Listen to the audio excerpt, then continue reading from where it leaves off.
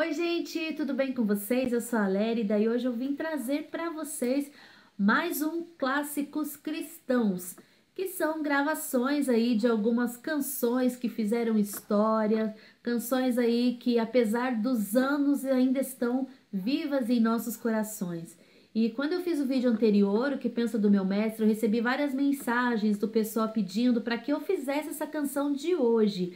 É uma canção que eu particularmente gosto muito, uma canção que tem uma poesia lindíssima que nos leva à reflexão do sacrifício que Jesus fez por nós na cruz do Calvário. Então eu vou cantar um pouquinho para vocês sobre a história dessa canção. Ela foi composta em 1980, então ela já tem aí uh, eh, 38 anos, foi composta em meados de abril de 1980 e, e ela foi conhecida nacionalmente a partir de 1984, quando ela foi interpretada pelo, pelo cantor Jorge Araújo e Eula Paula. Então ela se tornou um hino hoje, ainda hoje ela é cantada em muitas igrejas aí pelo Brasil, pelo mundo. Eu tenho certeza que você, principalmente que é da década de 70, 80, 90, já cantou essa canção. Você também da nova geração, com certeza já ouviu essa canção em algum momento da tua vida.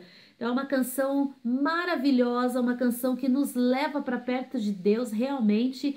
E o compositor dessa canção, o pastor Isaac do Espírito Santo, também compôs um outro clássico da música evangélica, que foi interpretado em 1972 pela cantora Zilanda Valentim, que é o clássico Um Anjo Serei. Nos vídeos aí posteriores a gente vai falar sobre ela também. Então eu quero te convidar agora para relembrar e cantar comigo esta canção Cicatrizes. Vamos lá?